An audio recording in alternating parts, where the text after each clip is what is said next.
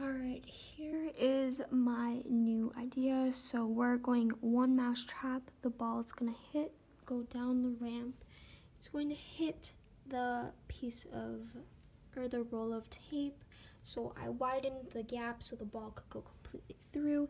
It's going to um, have the domino effect on these boards, hit the bucket with the water, and hopefully blow out this candle. Let's see how it, see how it goes.